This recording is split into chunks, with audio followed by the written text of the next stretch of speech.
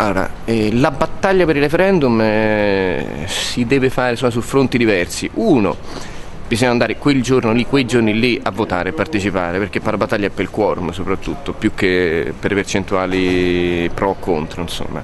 E poi eh, la battaglia è prima per portare insomma, persone a votare e anche dopo, per fare in maniera che non si perda l'attenzione e che non diventi una delle tante notizie, no? De, cade un aereo e quindi per una settimana cadono solo aerei, poi scoppia una guerra e quindi si parla solamente di guerra, poi c'è Sanremo e quindi si parla solamente di Sanremo.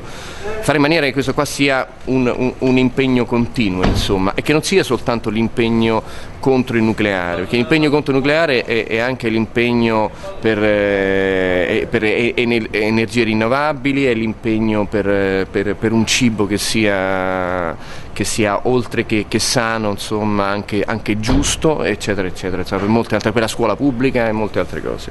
Insomma, per un, per un progetto differente, eh, per una prospettiva, se vuoi anche in ideologia, insomma, differente. E, e, poi io andrei a votare per referendum anche se non si raggiunge, anche se non ci sarà, insomma quel giorno andiamo a votare lo stesso, pure se siamo in 20, pure se non c'è più manco il referendum, insomma andarci sì, potrebbe essere un'alternativa insomma.